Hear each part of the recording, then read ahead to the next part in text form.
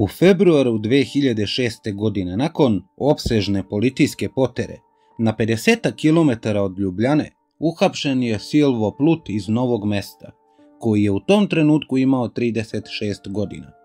On je osumnjičen za ubistvo koje je počinio nekoliko dana ranije.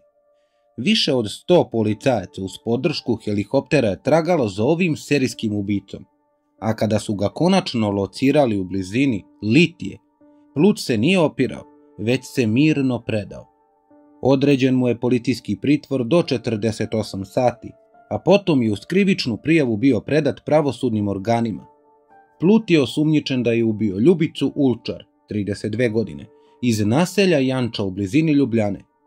Kako su tada izveštavali slovenački mediji, Ljubica se sa mužem Mirkom oko 5 časova i 30 minuta vratila kući, kada je nepoznati muškarac upao u njihov dom i vezao ih kanapom za stolice.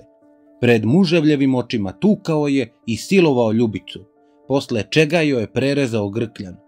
Suprug ubijene Ljubice Mirko Ulčar uspeo je da se oslobodi i pobegne kod komšije, odakle je pozvao policiju i obavestio ih o zločinu.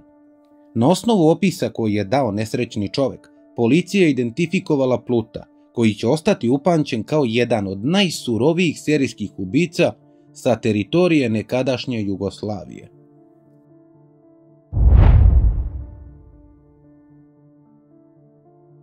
Silvo Plut rođen je 1968. godine u Novom mestu. Za njega se još u najranijem detinstvu znalo da je bio sklon masakrima. Kao dečak je sekirom ubijao pse i mačke, a obožavao je da kokoškama kamom oceca glave. Plut je svedočio da je odrastao sa bratom u veoma nepovoljnim uslovima. Njihov otac je radio u Nemačkoj, gde je navodno imao i druge žene. Kada bi vikendom ili praznicima dolazio kući, uvek je bilo sukoba sa majkom, pa čak i nasilja. I oba sina su takođe doživela mnogo nasilja od oba roditelja. Prema njegovom svedočenju, on je pretrpeo dosta fizičkog nasilja od oca, ali i dosta psihičkog nasilja od majke. Na to su je terali bes, razočarenje i sobstveni očaj. Po mišljenju kriminologa doktora Mojce Plesničar, to nije bila sredina koja bi stimulativno delovala na razvoj ličnosti i očigledno je da je ono što se desilo kod kuće ostavilo kobni trag na mlađe dete, Silva Pluta. U intervju koji je Plut dao u Ljubljanskom pritvoru, samo nekoliko meseci pre nego što je izvršio samoubistvo, rekao je da je od uvek želeo da bude futbaler i da je od uvek voleo da šutira loptu. U sećanju mu je ostalo da mu je otac jednom poslao futbalsku loptu. On je bio veoma uzbuđen zbog toga, ali je njegova radost trajala samo nekoliko dana. Njegova majka je probušila loptu jer je trebalo raditi. Već u osnovnoj školi učitelji su nekoliko puta zvali njegove roditelje jer je pipkao devojčice, ali roditelji nisu želeli ili nisu mogli da se bave Silvom. Tako je mali dečak koji je sanjao da jednog dana bude dobar futbaler, izrastao u okrutnog ubicu. Njegov potpis dok je ubijao bilo je zversko mučenje žrtava. Pre ubistva on bi nožem nanosio brutalne rane ženama koje je ubio, grizao ih, a nakon ubistva on bi se i dalje iživljavao nad posmrtnim ostacima komadajući ih. Prvo ubistvo počinio je u 22. godini života, 1990. godine. Tada je nakon brutalnog silovanja na zverski način iskasapio školsku drugaricu, Marijancu Matjašić. Tog dana je nesrećna devojka krenula autom na posao u fabriku obuće, kada ju je Plut zaustavio i zamolio je da ga poveze. Marijanca ga je poznavala iz škole i primila ga je automobil ništa ne sluteći. On je pokušao da je siluje, ali pošto se ona grčevito branila, usmrtio je sa nekoliko uboda nožem. Njeno telo je potom odvezao do jezera, a tamo joj je isekao dojke i delove butina, te ih je posle toga bacio u vodu. Ubrzo je uhvaćen za ovo ubistvo, a na suđenju je tvrdio da je u Marijancu bio fatalno zaljubljen već godinama i da je želeo da zasnuje porodicu sa njom, pa nije mogao da joj oprosti što ga je grubo odbila. Tom prilikom je i rekao, kada nije želela da bude moja, neće biti ničija. Osuđen je na 15 godina zatvora, ali je pušten na slobodu nakon 13 godina zbog dobrog vladanja. Međutim, Kasnije su njegovi zatvorski drugovi svedočili da se u zatvoru seksualno iživljavao nad mnogim osuđenicima. U zatvoru se posebno sprijateljio sa Srđanom Živkovićem iz Aleksinca. Zajedno su neposredno po izlasku s robije opljačkali jednu poštu u Ljubljani. Mirko Ulčar, radnik te pošte ga je prepoznao i otkrio je njegov identitet slovenačkoj policiji. Zbog ovog razbojništva Silvio Plut je zajedno sa Živkovićem pobegao u Srbiju, u Aleksinac, gde se nastanjuje na duže vreme. U ovom rudarskom gradu je ostao upančen takođe po zlu. Plut i Živković su 2. avgusta 2004. godine opljačkali Mihajla Miloševića, tako što su u njegov stan ušli pod izgovorom da žele da kupe vozilo. Zadali su mu više udaraca, usled čega se Milošević onesvestio, a zatim ukrali nakiti novac ukupne vrednosti od oko 110.000 dinara. Potom su pokušali da ubiju Dejana Lazića, pucajući na njega iz automatske puške, a zatim i Milovana Mladenovića iz Aleksinca, pri čemu je Živković čekao u kolima, a Plut u Mladenovićeva leđa ispalio rafal od 27 hitaca iz automatske puške CZ M70. Pet dana kasnije, 18. novembra 2004. godine, presreo je na putu i ubio trudnicu Jasminu Đošić. Silvo Plut je na poljskom putu ka Aleksinačkim rudnicima sačekao radnicu Drakstora Vranjanka, 25-godišnju Jasminu. Njeno izmasakrirano telo pronađeno je blizu Aleksinačkih rudnika. Kako je utvrđeno, Plut je presreo ovu devojku, tupim predmetom i udario u glavu, a potom nožem rasparao trbuh. Izmasakrirao joj grudi i butine, nacrtavši joj na grudnom košu i nogama krstove i nju je grizao po telu i na kraju preklao. Na mestu ubistva ostala je njegova kapa, što će kasnije postati ključni dokaz u slučaju protiv njega, jer je analizom DNK sa kape utvrđeno da je baš on počinilac zločina. U aprilu 2007. godine za ovo ubistvo suđeno mu je u osustvu i krivično veće okružnog suda u Nišu ga je osudilo na 40 godina robije. Tokom suđenja Najveću pažnju je izazvalo svedočenje Ljubiše Stankovića iz Aleksinca, koji je Plutu gotovo godinu dana iznemljivao stan. Naime, on je poznavao Živkovića, Plutovog saučesnika i preko njega je upoznao i Pluta. On nije imao predstavu čime se ova dvojica bave, a znao je da je Silvo bio u zatvoru, ali nikada nije pitao zbog čega. Izjavio je da sa njim nikada nije imao nekih problema, ali da ga je jednog dana u martu 2005. godine video kako u dvorištu zakopava pušku. Čovek je odmah pozvao policiju, ali dok su došli, Plut je već nestao. Stanković je tada u svom stanu zatekao pismo, u kojem je Silvo naveo da ga je cenio kao oca i da pozdravi psa, koga je toliko voleo da je spavao sa njim. U pismu je naveo i da se nikada više neće vratiti. Ubrzo nakon ubistva Jasmine Đošić, Plut i Živković su 3. januara 2005. godine opljačkali Dragana Savića iz Aleksinca. Plut je polomio prozor na njegovom stanu, koji je u trenutku pljačke bio prazan, i ukrao 100 evra i 400 grama kafe. Tom prilikom on se posekao pa su tragovi krvi poslužili za kasniju DNK identifikaciju, što je ukazalo na Pluta kao ubicu Jasmine Đošić. Par dana kasnije, 16. januara 2005. godine, Plut je odlučio da opljačka još jednu devojku u Aleksincu, ali onda je usledio pravi hollywoodski obrt. Upao je u kuću Milene Radulović, skinuo je golu i počeo da je zlostavlja, ali ona je uspela nekako da ga obuzda. Posle cele noći provedene u razgovoru, Plut ju je ostavio u životu i otišao. No pre nego što je otišao, pretresao je stan i ukrao novac i nakit u vrednosti od oko 60.000 dinara.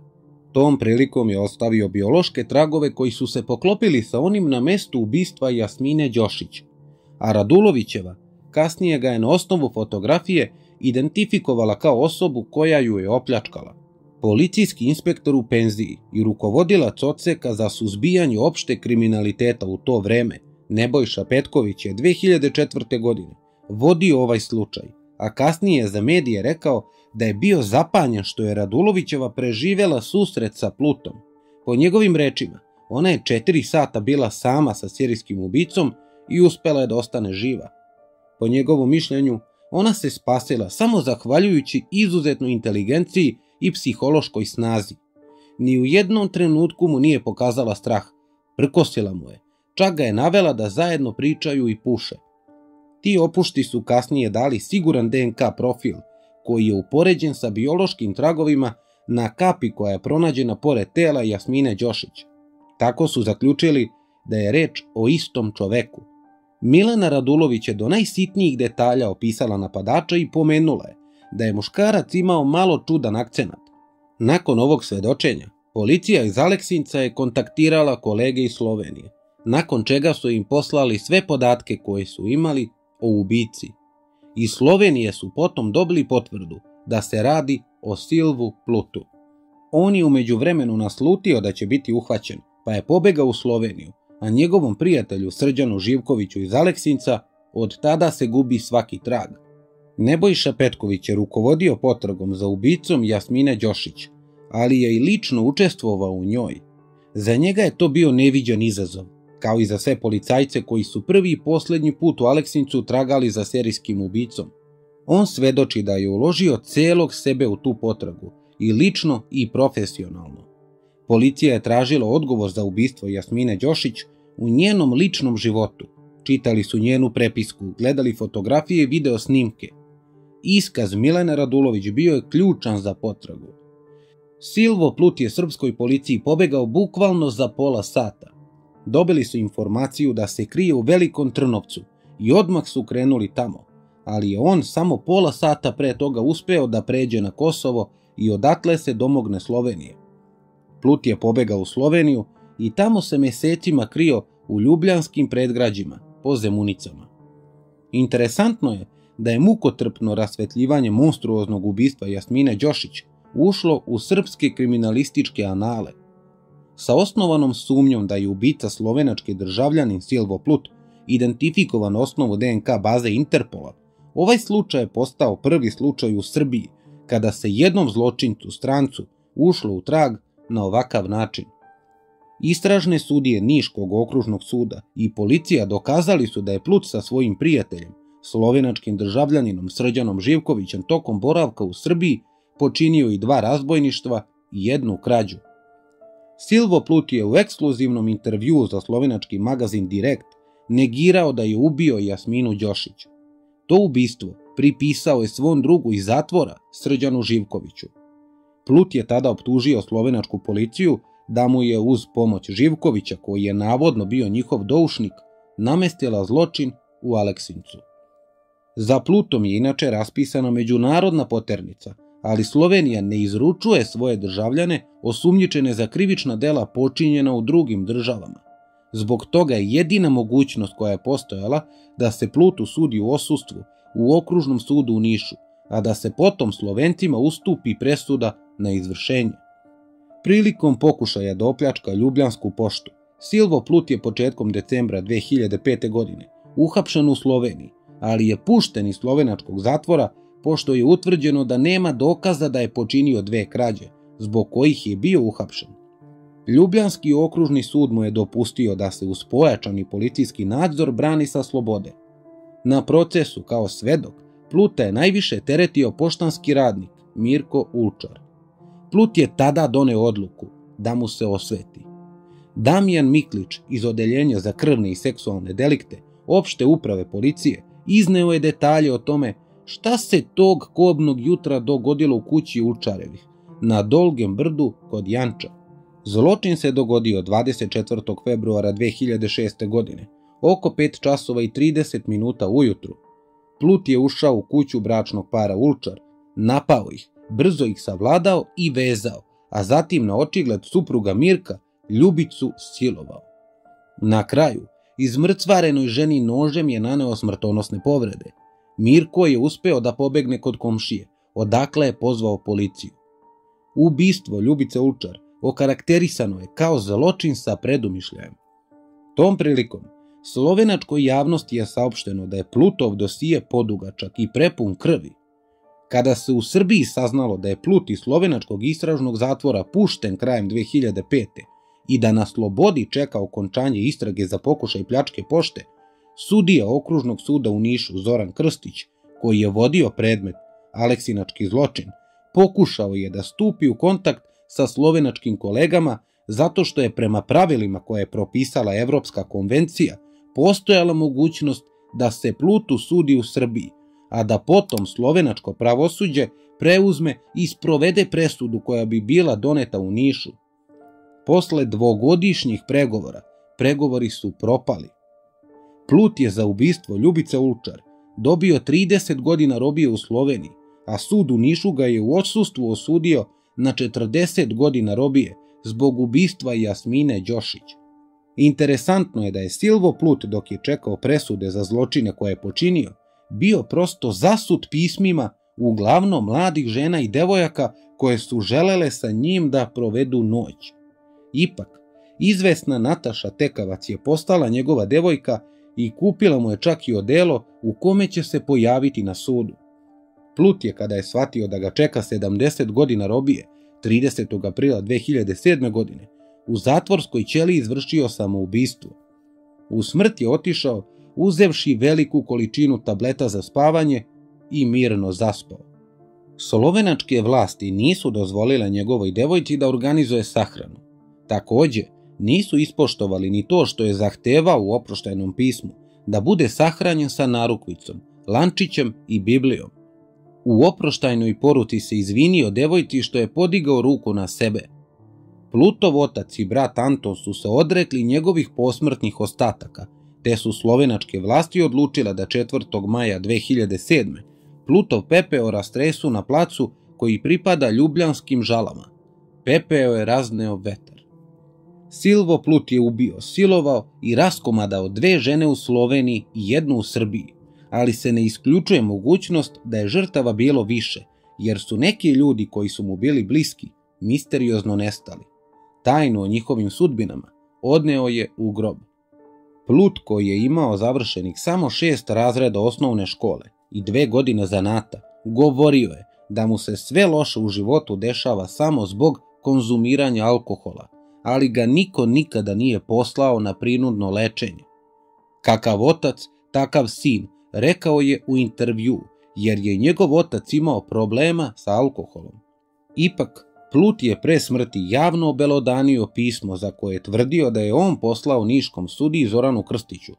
Naime, tokom suđenja za ubistvo Ljubica Ulčar, Plut je upitan gde se nalazi njegov saučesnik Živković, a on je tada ispričao da se Živković, dok je zajedno sa njim ležao u slovenačkom zatvoru Dob, zamerio dvojici Italijana koja je otkucao za pljačku banke, zbog čega su ga po Srbiji kasnije tražili italijanski mafijaši.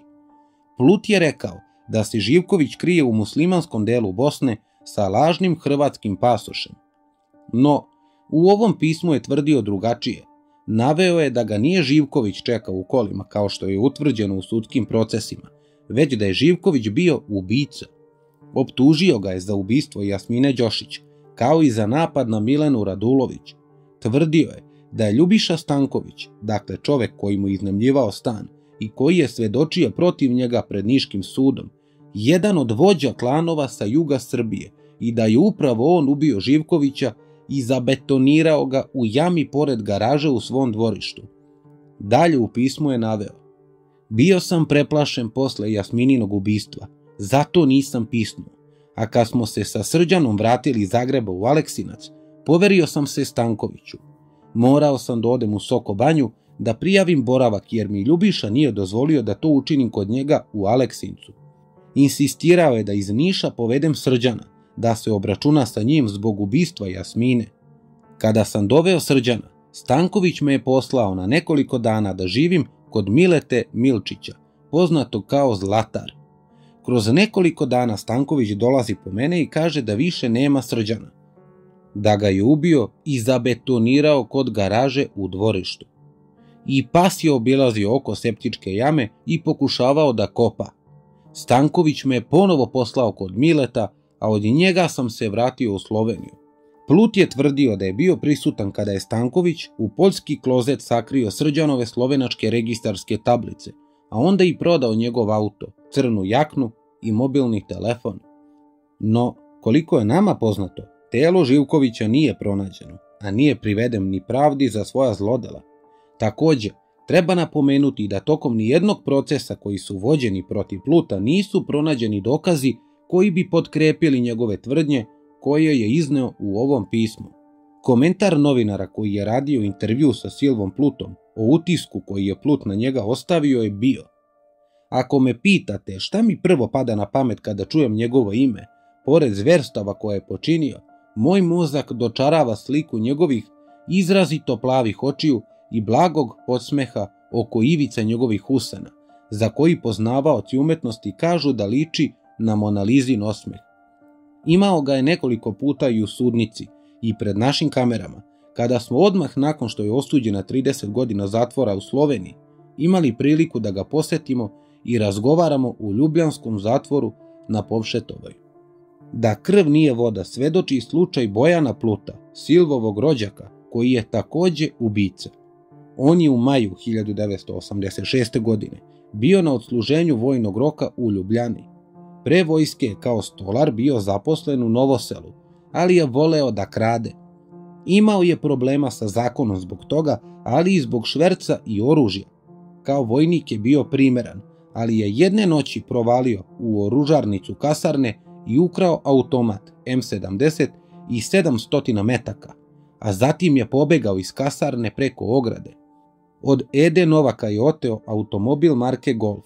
Tako se i saznalo za bekstvo naoružanog vojnika iz kasarne.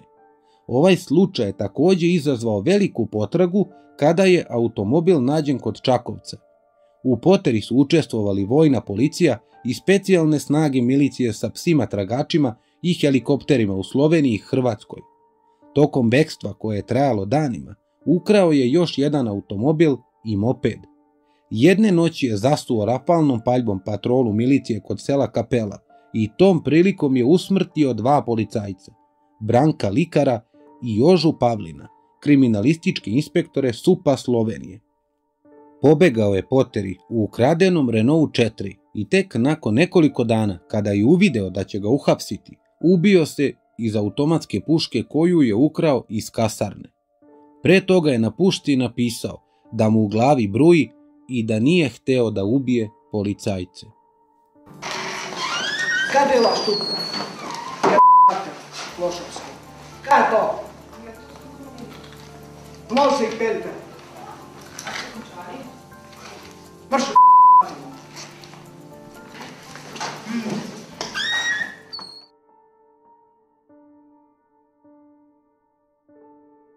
Ste pač jokali? Zaradi tega, ko je sodba nepravična. Ne morem tega prenesti.